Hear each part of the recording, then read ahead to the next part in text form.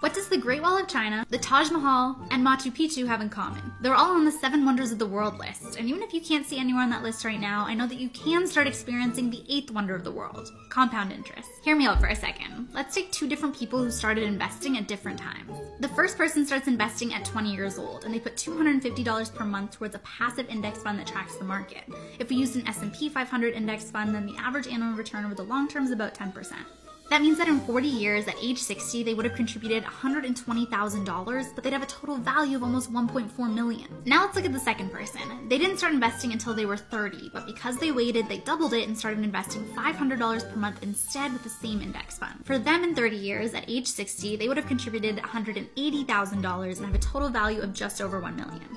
That 10-year difference meant that they had to invest 60,000 more dollars in order to have 400,000 less in total value. Now this is just an example and it's never too late to start, but why not let time do some of the work for you?